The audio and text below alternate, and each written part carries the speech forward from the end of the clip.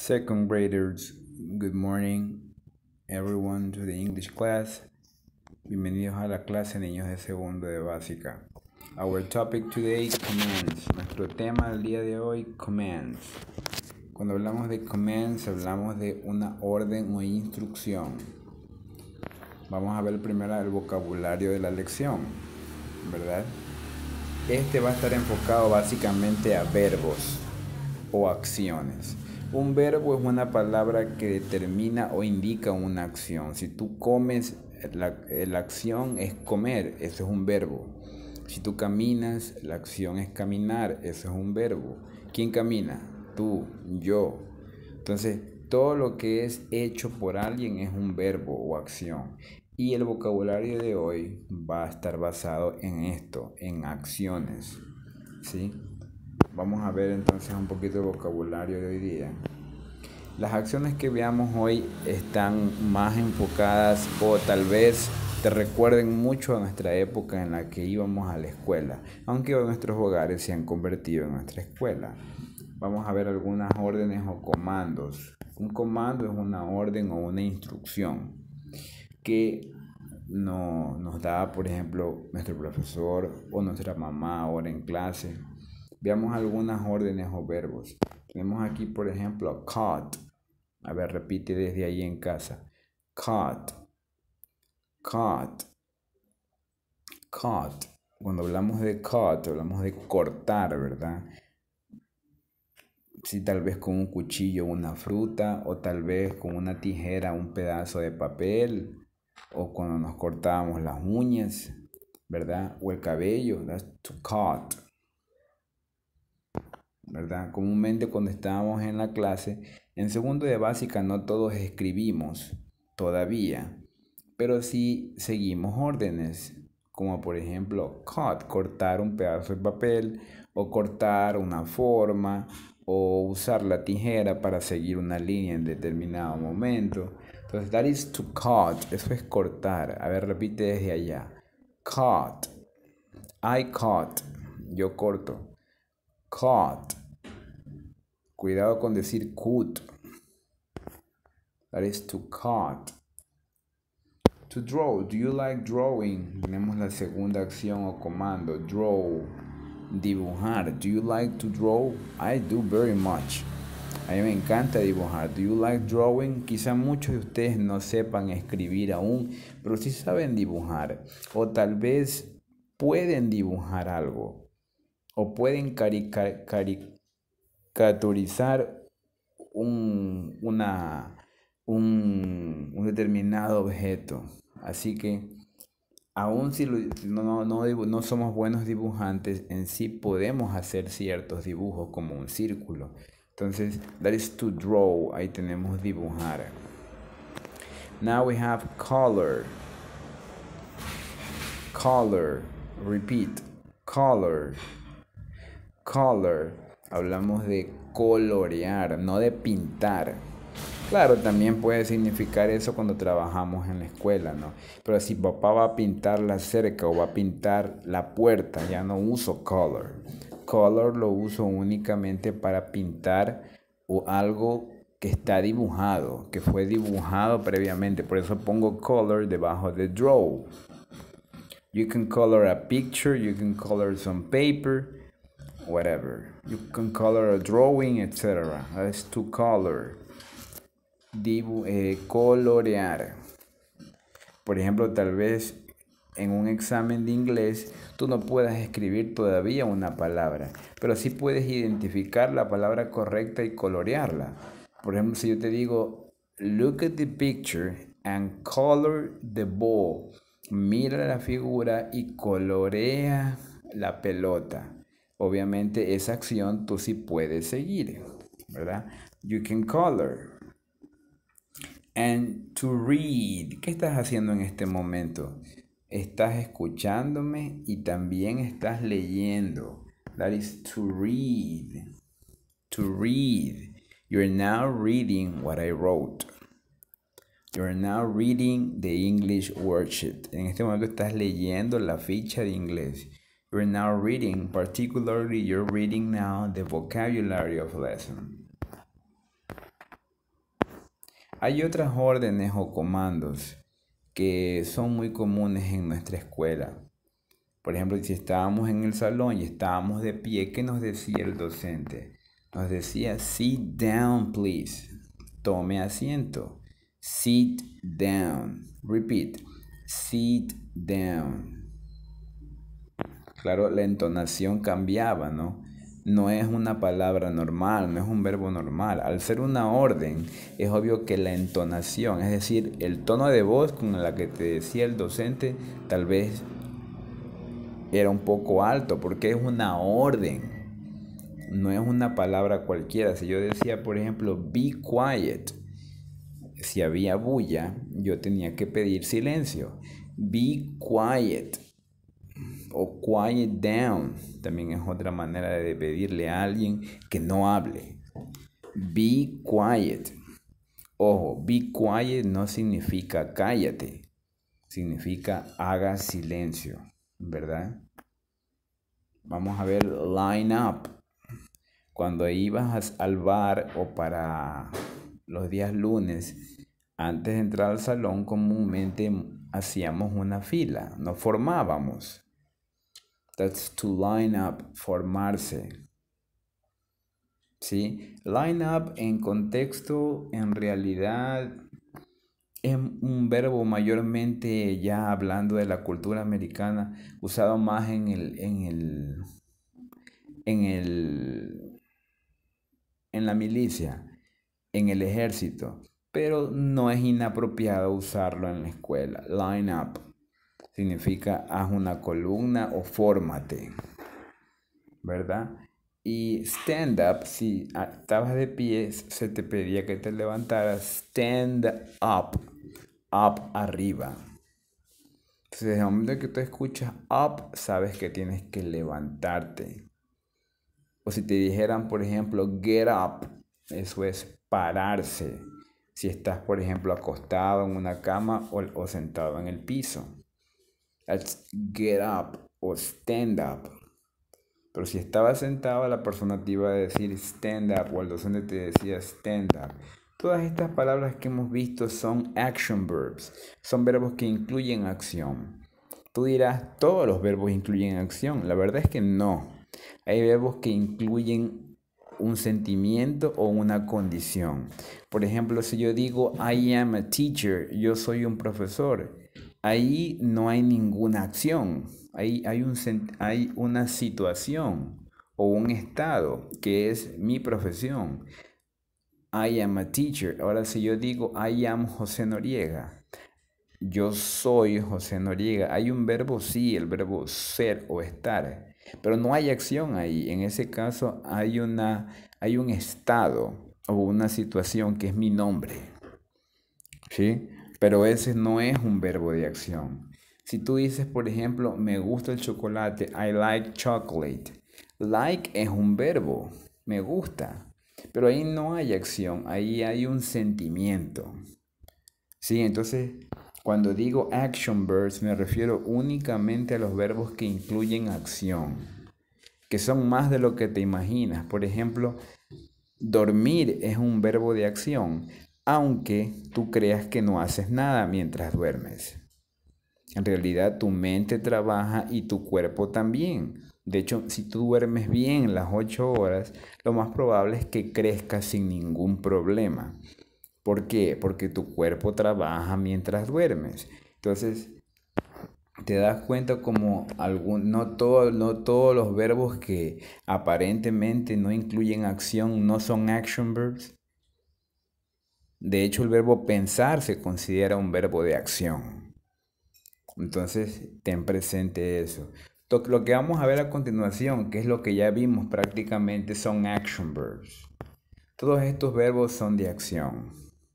Y nos recuerdan tal vez mucho a nuestra escuelita cuando íbamos de manera presencial. Por ejemplo, to cut, ya vimos ese verbo, ¿verdad?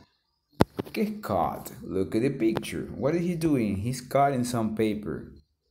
That is to cut. He's grabbing the scissors and cutting paper. So what is he doing? He's cutting. To cut. Repeat. Cut. Repite desde allá. Cut. Cut. No vayas a decir cut. Es caught. The second one, she's now, what is she doing? She's now coloring the triangle. What is she doing? Coloring the triangle. Ahorita está coloreando el triángulo, ¿verdad? Coloring. To color. Recuerda que color es únicamente pintar un dibujo. No pintar una puerta o una casa. Ahí uso otro verbo que no voy a mencionar en este momento porque no es necesario. Pero en este caso, color es un verbo que en nuestro contexto de segundo de básica se usa mucho. El profesor te va de seguro te iba a pedir este año que colorees la, la ficha o que colorees la lámina y yo iba a hacer también lo mismo. Pero no podemos, ¿verdad? Porque estamos en pandemia. That is, the next verb is to draw. What is he doing? ¿Qué está haciendo él? He's drawing a house. Draw. Repeat, draw. He's drawing a house. In my personal case, I like drawing very much. A mí me gusta dibujar mucho. Por eso en mis fichas siempre encontrarás imágenes que aunque no las hice yo, son arte de otras personas. ¿Verdad? Porque confío mucho en la ayuda de las, de las ayudas visuales. ¿Verdad? Entonces, this is to draw. What is he doing? He's drawing. Do you like to draw? ¿Te gusta dibujar? Are you good at drawing? ¿Eres bueno dibujando? Bueno, independientemente de que lo seas o no, debemos intentar esta habilidad porque fomenta nuestra creatividad. And now, what is she doing? She's now reading a book. She is, she's now reading. Tal vez muchos de ustedes aún no sepan leer. Yo tampoco sabía hacerlo a tu edad. Así que no es nada que avergüence ni nada malo, para eso estamos aprendiendo. Pero tal vez sí podemos hacer algún otro tipo de eh, actividades. Pero en algún momento aprenderemos a leer. She's now reading a book. She's now reading a book. Ahora ella está leyendo un libro. So the verb is to read. Tenemos aquí entonces la primera actividad vamos a unir la acción con el verbo que está acá a mano izquierda en colores, ¿verdad? Por ejemplo, la primera acción que está acá dice draw. So, which picture shows that action? ¿Cuál de estas cuatro figuras eh, indica esa acción? La primera, ¿verdad? To draw. Entonces, aquí en este recuadro voy a poner el número 1. ¿Sí? Y, tienes que hacer lo mismo con el resto de actividades. Si no recuerdas cómo se dice cada una, retrocede el video a donde analizamos el vocabulario de unidad. Y aquí teníamos las otras acciones, ¿verdad? También nos recuerdan a nuestro entorno de escuela. Por ejemplo, sit down. Si alguien estaba de pie, se le decía, please sit down. She's now sitting down and reading. Obviamente, cuando se te pedía pararte, tú te levantabas. And you heard stand up. Ponte de pie. Stand up. Recuerda, cuando te digan up, es todo lo que tiene que ver con arriba. Perdón, And if I say line up, recuerda cuando hacíamos cola para ir al bar o entrar al baño o entrar al salón. We normally line up. Haz una fila, haz una cola. Lo cual es necesario. And the teacher, when she said be quiet, be quiet. Bien. Entonces ahora es tu turno de escuchar y poner el número en el lugar correcto. Yo voy a decir la, acción y tú pones solamente el número. Por ejemplo, la, la acción número uno, the action number one is to line up. Entonces, ¿dónde pondrías el número uno? Esto es line up, ¿verdad? Hacer fila. Entonces aquí voy a poner el número uno. Action number two, la acción número dos es sit down. ¿Dónde vas a poner el número dos? A ver, ponlo. Pues si digo sit down. Number two is sit down. Right here, right? And number three is be quiet. Be quiet. It's number three. A ver, ¿cuál es la que dice be quiet? De seguro la recuerdas. And number four, stand up. Solo ponemos en el recuadro el número. Por ejemplo, estoy diciendo yo el número, número el, el número de la acción 4, que es stand up. Entonces aquí debería ir el 4 al lado del niño que se está parando. Porque esa es la acción que estoy diciendo. Number 4 is stand up. Right? Do you finish? ¿Terminamos? Bien. A ver, te lo repito. Number one is line up. Number two, la número dos es sit down. Number three, la número tres es be quiet. And number four is stand up. ¿Qué haremos aquí? Vamos a usar las vocales. ¿Cómo decimos las vocales? Recuerda que una cosa es decir las vocales por separado. Otra cosa es cómo suenan en una palabra. No suenan igual.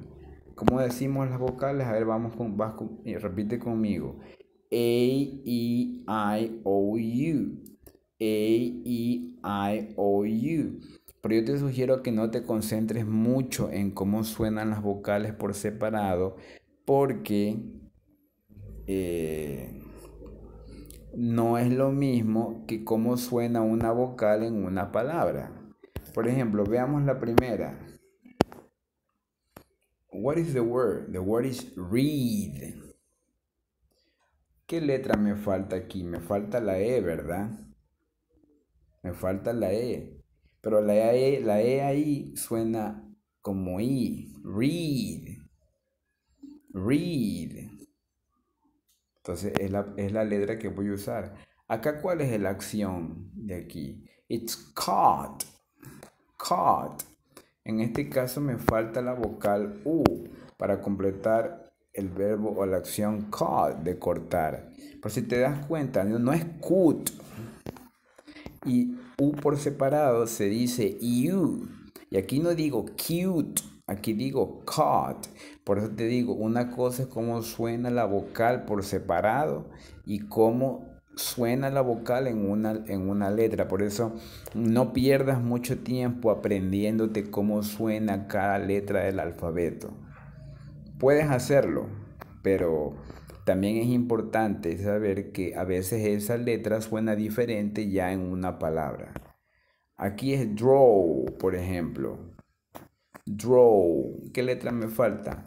Me falta E, me falta la A. Por si te das cuenta que aquí no suena dra, suena draw.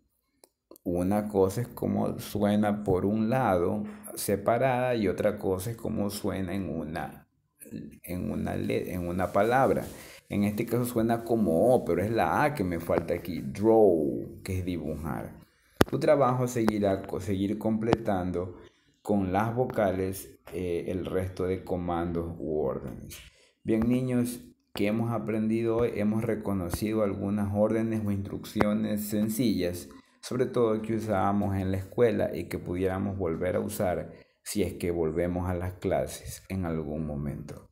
Por favor, realiza tu actividad, tómale foto y envíamela por WhatsApp lo más pronto. Si usted, señor padre de familia, puede crear su portafolio digital como se lo enseñé en la semana 8, por favor hágalo. Si no, sígame enviando nomás todas las tareas por foto, pero será su responsabilidad ir guardando las tareas. Thank you kids for watching my class. See you next week. Gracias por ver mi clase. Nos vemos la próxima semana.